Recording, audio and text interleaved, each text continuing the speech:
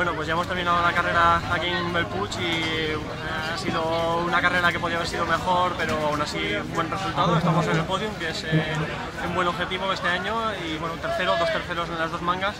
La primera ha sido una pena porque estaba el circuito muy para mí y creo que podía haberla ganado. He salido segundo, me he colocado primero y bueno, cuando he rodado primero he tenido un pequeño despiste, un fallo de concentración supongo, una caída tonta y nada, pues he remontado hasta el tercero que me habían pasado varios pilotos más.